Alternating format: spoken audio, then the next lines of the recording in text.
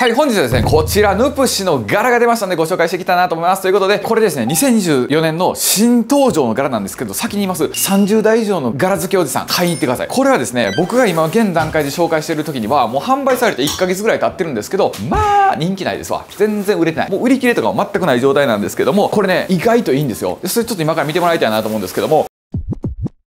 僕はですね178センチ65キロであの有名なえ？ー、でおなじみのマスオさんの義理のお父さんですね。波平さんと同じ身長ということなんですけども L サイズで着るとまあこんな感じかなと思います。で結果的に言うとやっぱり L なんですよ。わかります？いや拓蔵さん。拓蔵さんのこのヌプシの鴨柄着てる時 XL すごい似合ってはりましたよ。ありがとうございます。非常に嬉しいお声ね 誰も言ってないけどそう思ってます。そうなんやけどこの後いろいろパンツ履き替えていこうと思うんですけど結局 L がどのパンツとも合うんですよ。XL ると少しちょっと細めのがきつくなってくるかなっていう感じもあるのでやっぱり僕は L なんやろなと思います。柄がね今回ちょっとブルーっぽい迷彩の柄っていうのはもう僕全く眼中なかったんやけどこのこの間買い物行った時のオッシュマンズさんでこれを売ってたんですね。で基本ノベルティのこういう柄物って直営店とかオンラインでしか売ってないっていうこと多いんやけどあセレクトショップさんでこれあるんですねみたいな感じで来たらまあこれでいいかみたいなこれでいいかって言うと失礼やけど、まあ、ダウンもなかったしまあこれがいいやなっていうことで買わせていただきました。ありがとうございます。これ見てもらったら分かるんですが柄の派手なのに派手。もうこれ中はねエンジニアガーメンツ多分聞かれると思います。この中の柄シャツはどこのシャツですか？って100%聞かれるから先言っておきます。エンジニアのガーメンツっていうニューヨークのブランド、まあ、日本人のブランドなんですけどこれとヌプシあんまり値段は変わりません。で特にこのシャツに性能はないのでこの柄オン柄じゃちょっと見えにくいっていう方もいらっしゃると思うのでちょっと着替えていきますね。ではねなんでねこの柄ね30代以上の人にねあの今すぐ買いに来てくださいいう話してるかっていうと、まあ、パッて見た時に分かりません？大体男性の人ってモノトーンが多いんですよ。白と黒とかネイビーとかそんなんしか着いひん人多いんですですけどそれとめっちゃ相性いいんですよね。モノトーンと相性いいのがこのダウンなんで例えばこういうね真っ黒のダウンジャケット着るとちょっと味気ないじゃないですか。だけどこれぐらいやったら、まあ、ベースがブラックなんでブラックにホワイトのこういう線が入ってるだけなんで今まで柄挑戦したことないねんなっていう人でも意外とこれ行きやすいやりやすいってことで逆にこういうカモとかの方が色味が入ってるので他のパンツと合わせづらいんですよ。だから僕まあ結構これ履いたけども大体パンツ黒なるんですね。まあ一回ちょっと着てみましょうか、こちら XL で着てるんですけどもまあこれはこれで全然いいですよね。ただまあ確かにパンツ限られそうやなと。後でも履こうと思ってるんやけどこういうねミリタリー系と合わせたりしたらマジでサバゲースタイルになるんですよ。これはちょっとあかんよなってことなんですけどこっちだったら全然いけるんですよね。まあ他にも例えばこういうちょっと白のパンツとかあとまあこういうスウェットとかもそんなんでも全然いける。だから今回今年の柄当たりやなと思ってるんですよ。この間紹介したキャンプシェラショートのこっちの動画あるじゃないですか。これでもキャンプシェラも結構色柄当たりやったから今年デザイナーさん変わったんかなと思うんですけどまあそれ知らんよ。ほんまのことは知りませんけどなんか変わったんちゃうかなと思うぐらいすごいね柄が良くなってるような印象があります。ここ23年ちょっと柄が不発やったというか迷彩もなんかようわからん迷彩出してきたなみたいなあの買ってる方いたら本当申し訳ない。ないんですけどもここ数年はねノースフェイスの柄は買うなっていうのが僕の名言やったんですよ。一人でそうやって思ってたけどもちょっと今年から変わりましたね。ヌプシの柄はすぐに買えっていうのが今年からの名言になると思います。今パッて見てもらった感じ柄結構どれもいいじゃないですか。まあ今着てたのはもう海外のやつとかもう販売してないやつとかになっちゃうからちょっと今年の話に戻しますけどこれねちょっとパンツ変えましょうか。まあこんな感じで白のパンツ履いたりしたら白は白でまあ上がねここに白が入ってるからまあ拾うじゃないですか。あ結構これも合わせやすいねっていう感じだしただこれ1着目で買うっていう人の僕は個人的にあんまおすすめしなくて多分僕の視聴者さんって A ダウン持ってるんですよ。E ダウンで10万以上のダウン持ってるよと。た だそれを毎日着ていくのはあれやからでしかもなんか無地とか飽きてきたからちょっと柄で、まあ、最終このセカンドダウン、まあ、セカンドパートナーっていうんですかね。要は愛人ダウンとして使いたいと。これまあヌプチヌプバーとか言ったけどもこれはセカヌプなんですよ。セカンドパートナーのヌプシっていうことなんで愛人として使いたいっていう人なんかにめっちゃ向いてる。だからまず第一候補として買うっていう一軍として買うっていうのは僕個人的にあんまり思わなかったんやけども、まあ、結構僕の人さんほんま A ダウン持ってある人多いからそういう人が第二の候補として買えばこれちょっと遊びたいなっていう柄でちょっともう遊んでみたいなっていう時なんかはもうめちゃくちゃこれ使えるじゃないですか。でそれでいてね値段がやっぱりそんなにヌプシやからそんな高ないので、まあ、4万1000円とかぐらいなんで A ダウンって考えたらやっぱ10万とか20万とかしてくるところを考えるとわりかしこう気軽に使いやすいよねっていう感じだしお子さんとちょっと遊ぶとかっていう時にモンクレール着るのはちょっとなとかタトラス着るのはちょっとなっていう時あるじゃないですか。そういう時なんかは別にこれで公園行こうかって言ってこれでバーって公園行ってバーって遊んでますわ。別に横でだってまあえっかって感じじゃないですか。やけど周りのお父さんからあれ？ちょっと待ってください。それセカンドプじゃないですか。セカンドプ知ってるんですか？知ってますよ。あのセカンドパートナー要は愛人ダウンですよね。愛人のプシですよね。話わかるじゃないですか。今からじゃあちょっと飯でも行きますかっていう話になるんですよ。まあ子供置いといてね。待っとけよと。ちょっとお父さんカフェしてくるからっていうことでそこから愛人について語り合うわけですよ。っていうことになってますので結構使えるんですよね。それで他にも GU パンとかね。まあこんな感じですよ。これはまあ子供の水泳迎えに行く感じ。子供の習い事とかそろばんとかあの水泳とかやってるでしょ。でそれパーッと迎えに行く時なんかはこんな感じで車でこうやって待っとって。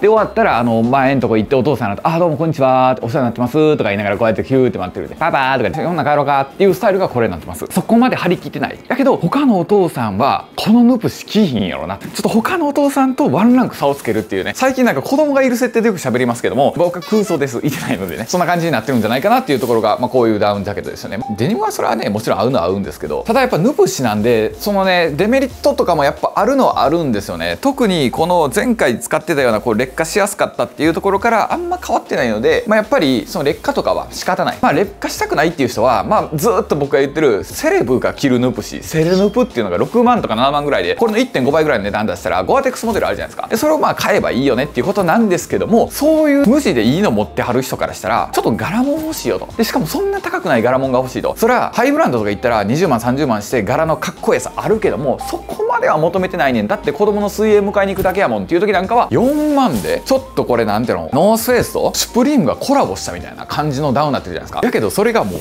ずらっと公式サイト見たら余りまくってるわけなんですよ。これ人気ないんかなと思ったけども僕個人的にはこう気づいてないんちゃうかなと思って勝手にね動画で紹介しております。わりかしこのまあ黒ベースで作ってるから最初も言ったみたいにまあ使いやすいんですよ。でセカパってそうじゃないですか？すごいいい時にあの会えるよね。奥さんとか子供ととかじゃなくてちょっと仕事合間の隙間にちょっと飯でも行こうかみたいな感じの僕そんな感じ。メインはあるんだよと。僕にはメインモンクレールさんとかタトラスさんがあるんですよ。それこそストーンアイランドとかあるんです。もう20万30万のダウンあるんやけどもちょっと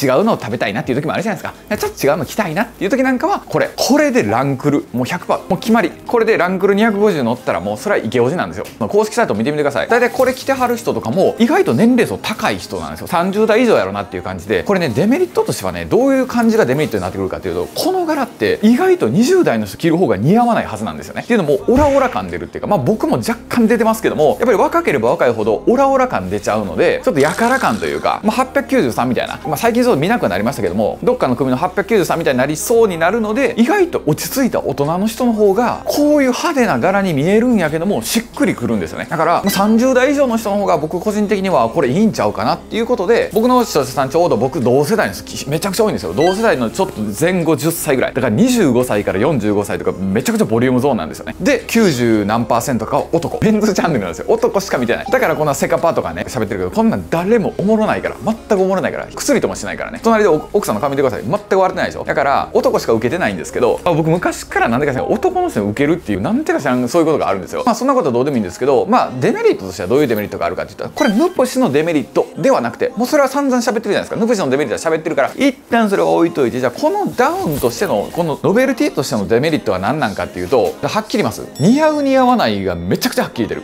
だから似合わん人は全全く似合わへんし似合う人は似合います。でこれはどうやって分かんのっていうことなんですけど実は顔で大体分かるっちゃ分かるんですよね、まあ、来た時にダウンに負けちゃったら終わりじゃないですか。顔が。逆に顔が勝ってれば、まあ、ダウンに負けることないと思うんですけどどちらかというと今まで柄物着た時とかに褒められたりしたことがある方の方がいいと思うんですよね。だから柄一回も挑戦したことないしマジで分からへんっていう人なんかは、まあ、まずはそれこそチェックシャツとかそういう柄からボーダーとかそういう取り入れやすいところから行ってこういうわけわからん柄ってまあ迷彩とかもそうですけど柄慣れしてないとやっぱ負けちゃうのでその辺はね一番最初に行くダウンではないんちゃうかなっていうところは思います。特にこういう不規則な柄って難しいんですよね。あのチェックとかって同じ大きさで全部あるじゃないですか。まあボーダーも同じで同じ幅で全部があるんですけどこれ不規則な柄になってくる。迷彩もそうやしこういう落ち葉とかもそうなんですけどこういうのってもうほんまに人によって似合う似合わへんがあるので気になるっていう方は店頭に僕売ってるかわからないんですけど直営店は。わからないんですけど多分調べれると思うんですよ。ネットから直営店どこに在庫あるとか調べるしもしセレクトショップやったら僕はオッシュマンズさんしか知らないんですけどオッシュマンズさん以外でももしかしたらあるかもしれないんで行かれるっていうのがいいんじゃないかなと思います。はい、ということでね、まあいろいろとこうパンツ履き替えていきました。なんかちょっとこうスッキリさせたい時はまあ細くいけばいいと思うし、まあトレンドっぽく今っぽくいたかったらちょっとワイドめなカーゴとかデニムとか合わせていけばいいと思うし、まあ別にスウェットでも全然いいいいと思うので、まあこんな感じでね、さっきいろいろ着てるじゃないですか。カーゴの黒、カーゴのカーキ、そして白のパンツも履いてる。で、デニムも履いて、まあ今黒のパンツ細いとかって、まあいろいろあると思うので、割かしこういう複雑な柄にしては合わせやすいんじゃないかと。で、複雑な柄でもこういう感じとか、迷彩とか、こういう落ち葉とか、あとペイズリーとかをちょっと人選ぶとと思うのでちょっとどうかなと思うんですけど複雑な柄の中でも、まあ、色がシンプルなんで、まあ、まだ取り入れやすい。こういう白黒モノトーンなんかも絶対合うよねっていうねスタイルになってるんじゃないかなと思いますのでこの愛人ダウン愛人ヌプシですね。なぜ愛人ヌプシなのかというと2番手としてちょうどいいダウンジャケット。でなんで2番手なんかっていうとやっぱ劣化しやすいし今もこうやってやってる最中に跳ね抜けてました。だから、まあ、そういうのは劣化はもうしちゃうので特にヌプシはしやすいっていうのはそうなんで、まあ、それでも割り切れるよと。割り切った関係でいいです。っていう人なんかはセカヌプがいいんじゃないかなということで本日はですねこちらヌプシの今年限定やと思うんですけども2024年バージョンのヌプシのノベルティのダウンを買ってみたという動画になってます。また別動画でお会いしましょう。ありがとうございました。